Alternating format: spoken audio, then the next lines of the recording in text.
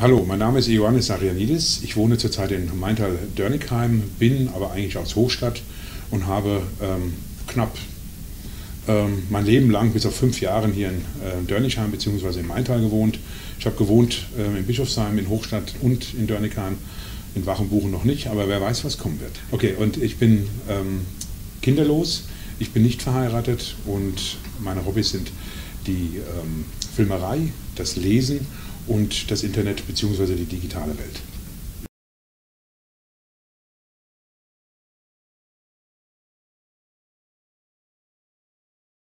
Also ähm, ich habe bis jetzt in meiner Laufbahn ähm, im wirtschaftlichen Bereich gearbeitet und im sozialen Bereich und bringe da einfach sehr viele Kenntnisse mit. Ich habe dort im Sozi sozialen Bereich dann dementsprechend auch ähm, schon mit, ich sage jetzt mal, mit dem Staat gearbeitet, sprich mit SGW II, SGW III zurzeit. Mhm. Habe jetzt nicht wirklich die ähm, Erfahrung jetzt von der Stadt, ganz konkret von der Stadt, aber das, meine berufliche Erfahrung sehe ich praktisch als Vorteil, weil man ja praktisch in der Stadt oder für die Stadt etwas Innovatives auch sucht, beziehungsweise einen innovativen Stadtrat sucht. Und da sehe ich die Chancen, dass ähm, diese berufliche Erfahrung, die ich mitbringe, dass die da vom wesentlichen Vorteil ist, weil halt einfach, wenn man jetzt, ich sag mal 20 Jahre oder 10 Jahre in einer Struktur gelebt und gearbeitet hat, dann hat man auch nicht mehr so die Möglichkeit, über den Tellerrand zu schauen. Mhm. Und da sehe ich, wie gesagt, die, diesen Vorteil, weil ich schon über etliche Tellerränder geschaut habe und dieses Wissen, diese Erfahrung einfach mitbringe. Können Sie da Beispiele nennen für Zuschauer? Natürlich. Also ich habe jetzt ähm, nach meinem Studium als Sozialarbeiter dementsprechend bin ich durch, also bei einem Freund in die Wirtschaft reingerutscht, in die Zeitarbeitsfirma, habe dort als Personaldisponent gearbeitet, habe somit dementsprechend schon viel Kundenkontakt in dem Sinne gehabt, auch viel Führungsaufgaben natürlich als Personaldisponent mit den Mitarbeitern gehabt. Ähm, ich denke mal, das Zeitarbeitsthema, das kennt jeder, wie das äh, funktioniert. Es kann sehr, sehr stressig und sehr ähm, ja, vielschichtig sein, sage ich jetzt mal. Ja. Ähm, danach war ich bei einem äh, amerikanischen Telekommunikationsunternehmen, war dort dann vom ähm, kleinen Sachbearbeiter zum Business Analyst, zu einer Stabsstelle dann aufgebaut, beziehungsweise ähm, habe mich da hochgearbeitet und habe dann dort auch vier Jahre beim Betriebsrat gearbeitet, kenne sozusagen die Gremiumarbeit. Ja. Also das ist jetzt ähm, sicherlich nicht ganz so vergleichbar wie mit der Stadt aber es ist zumindest mal in diese Richtung und da bringe ich da auch schon aus nationaler und internationaler Ebene die Gremienarbeit mit an. Ja. Und dort habe ich dann auch dementsprechend, ähm, ich sage mal, ein Team aufgebaut, unsere Abteilung und habe das dann auch ähm, am Ende des Teams oder am Ende der Abteilung, weil das Produkt ausgelaufen ist, dann dementsprechend auch ausgelagert und war dort der Interimsmanager für diese Zeit, für diese Abteilung.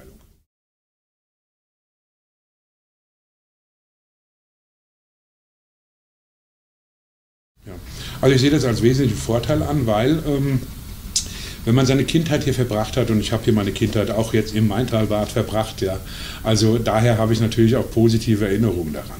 Und ähm, das ist etwas, was mit in eine Entscheidung reinfließt.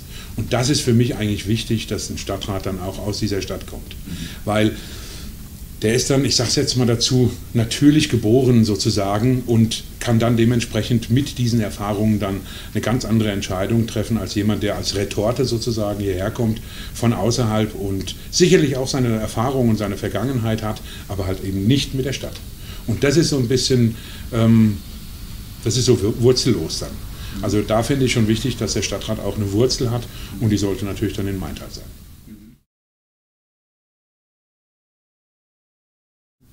Ähm, für mich ist es, ähm, also für mich hat es den Einblick, dass es so ist, dass der Stadtrat praktisch die ähm, städtischen Belange sich anschauen muss und dann dementsprechend die dann auch diese Projekte vorwärts bringen sollte. Ja? Ähm, und das immer mit Absprache und dann auch mit einer kollegialen Absprache mit den Parteien. Also das heißt, es geht nicht darum, auch nicht seitens der Parteien, da irgendetwas aufgrund meiner Couleur dann durchzudrücken oder meiner Stadtcouleur, sage ich jetzt mal, durchzudrücken. Es geht einfach darum, dass man sagt, das ist ein Projekt für die Bürger. Und ich, das, ist, das ist für mich das Wesentlichste, dass man da Entscheidungen trifft von jedem Mitspielern sozusagen, die dann immer das Ziel haben, dass das für den Bürger ist, ja, und zwar für die meisten der Bürger, ja. Wenn eine Parkbank irgendwo in der Ecke von Maintal ähm, für den einen total wichtig ist und er lässt sich dann von dieser, ich sage jetzt mal Meinung nicht abbringen, weil es zu viel Geld kostet zum Beispiel, ja, dann ist es für zu wenig Bürger gedacht und das äh, müsste man dann halt ausdiskutieren, ob das nicht besser wäre, dann eine Parkbank vielleicht in die Mitte von Maintal zu stellen. Ja. Also das muss schon für die meisten Maintaler dann einen Vorteil bringen, dieses Projekt, also das Ziel des, des Projektes und das sollte man dann natürlich dann ja, ich sage immer, in jede Entscheidung dann mit reinfließen lassen, dieses Ziel immer vor Augen, um dann dementsprechend dann gemeinsam ein Ziel zu äh, bestreiten. Es braucht keinen fachspezifischen Stadtrat. Denn da gibt es ja die Abteilung, also die Dezernate dafür. Und da gibt es ja die, äh, äh die, die, die ähm, Koryphäen, sage ich jetzt mal, ja, die da dementsprechend das Know-how haben. Und es geht dann damit, dass, dass man sich als Stadtrat und auch als Bürgermeisterin mit diesen Personen dann in Verbindung setzt, um dann gemeinsam dann dementsprechend das Projekt voranzutreiben. Also das heißt, ich finde, ein Stadtrat muss, wie gesagt, keine fachspezifischen äh, Kenntnisse haben. Das hat die Stadt an sich. Sonst gräbt man ja der Stadt vielleicht dann auch irgendwo die, die, das Know-how weg. Ja. Also das sollte schon so ähm, aufgeteilt sein. Ähm, und dann würde ich das jetzt von, von der Einteilung her erstmal so lassen, wie es ist, um dann dementsprechend mit der ähm, ähm, Bürgermeisterin dann auch zu sagen, äh, zu fragen, wollen wir da irgendwie was ändern? Also das würde ich dann im Gespräch mit der äh, Frau, Frau Böttcher dann machen, um dann zu schauen, wer hat Stärken, wer hat Schwächen. Mhm. Ja, also da würde ich das aber im Moment erstmal so lassen, wie es ist. Mhm. Ähm, es, ein Punkt wäre das, aber das ist ja noch ähm, also von dem Personal her, von der. Personaldecke her nicht so ganz abgedeckt im Moment, soweit ich informiert bin. Ähm, und zwar die Kommunikation nach draußen. Für mich mhm. ist es absolut wichtig und da ähm, mache ich jetzt nicht irgendwie einen Halt vor einer Position innerhalb der Stadt.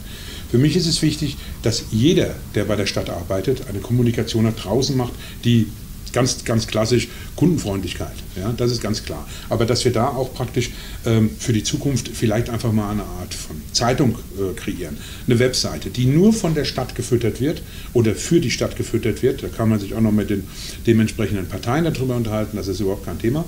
Ähm, aber das sehe ich für die Zukunft einer Stadt absolut notwendig, dass da auch, ich sage jetzt mal, medientechnisch, und damit meine ich wie gesagt die Zeitungen und die, das Digitale, vielleicht in 50 Jahren nur noch das Digitale, muss man halt schauen. Aber das ist absolut notwendig, weil ähm, wir müssen auch, egal mehr wer von wem gewählt wird, die Bürger erreichen und das ist meiner Meinung nach auch ein wichtiger Punkt, den ich mit der Frau Böttcher natürlich dann mit der Bürgermeisterin dann besprechen würde.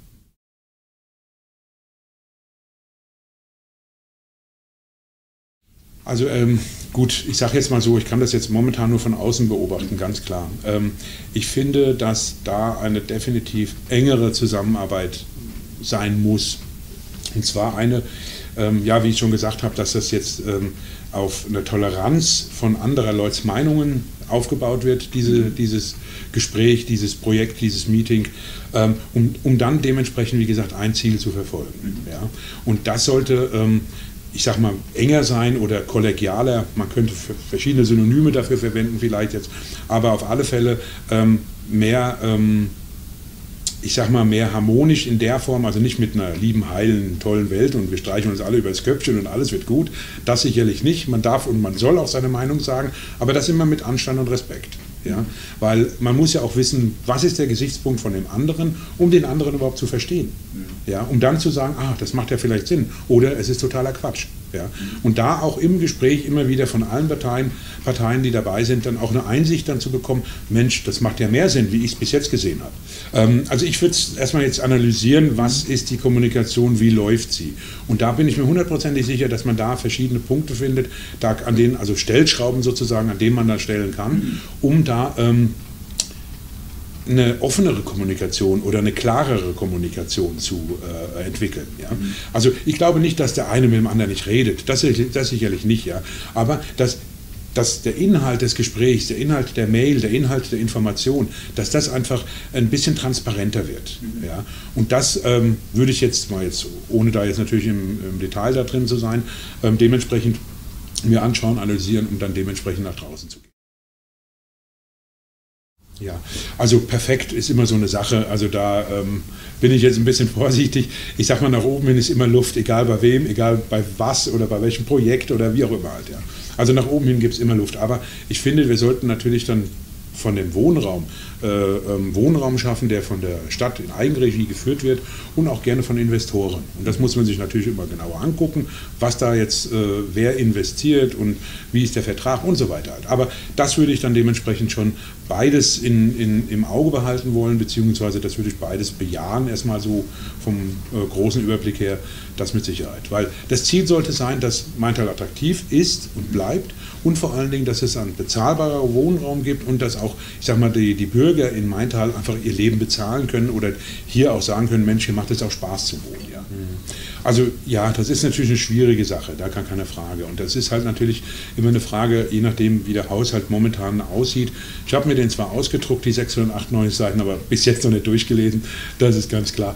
Aber ähm, ich finde, man muss halt dann schauen, dass man dann die Maintal Immobiliengesellschaft, dass man da jetzt äh, äh, ähm, mal schaut, was hat die jetzt für äh, äh, äh Räumlichkeiten, beziehungsweise was ist dieser äh, Maintal Immobiliengesellschaft und wie könnte man das jetzt ähm, erweitern. Warum? Weil das hat ja die Möglichkeit, das ist ja eine GmbH und das kann man ja wirtschaftlich betreiben. Und das ist ja mal eine ganz andere Hausnummer, als wenn man aus der städtischen Sicht das Ganze sieht. Also da würde ich wahrscheinlich dann auch schon eher ähm, aus der Wirtschaftlichkeit heraus, aus der Stadt agieren, in der Form, dass ich dann natürlich in der, ähm, in der GmbH dann dementsprechend da den, das, das Wohnraumproblem, sage ich jetzt mal, dementsprechend handhabe.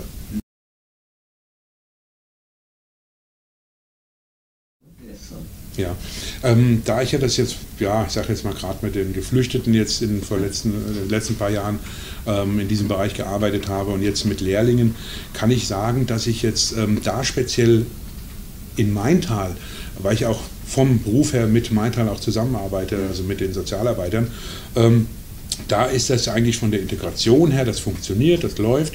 Was man aber dazusetzen könnte, ist noch definitiv ähm, ein Thema Ausbildung. Also damit meine ich ganz konkret, wenn jetzt ein Flüchtling hier wohnt, der dementsprechend, ähm, ich sag mal, in Hanau seine äh, ähm, Ausbildungsstätte hätte, äh, hat oder hier auch im Maintal, so, das Wesentlichste, und das ist, das ist meiner Meinung nach auch Integration, er muss Deutsch können oder sie.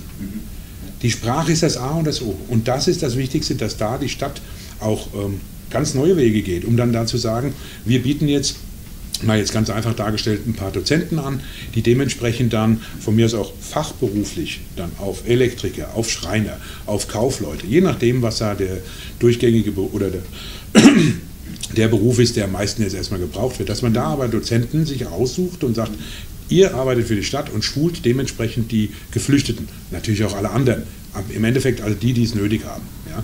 Weil, ähm, wenn wir sie integrieren wollen, jetzt gerade die Geflüchteten, dann ist die Sprache das A und das O und dann sollten wir das auch bis dahin unterstützen und versuchen zu integrieren, dass praktisch derjenige oder diejenige dann auch im Berufsleben stehen kann, weil sie oder er dementsprechend auch einen Beruf erlernt hat. Und dann geht es dann auch weiter. Und dann kann man das Kind sozusagen alleine lassen halt. Ja. Und das ist für mich das, ähm, das Wichtigste, sage ich jetzt mal, um da dementsprechend die Integration noch zu erweitern, sage ich jetzt mal.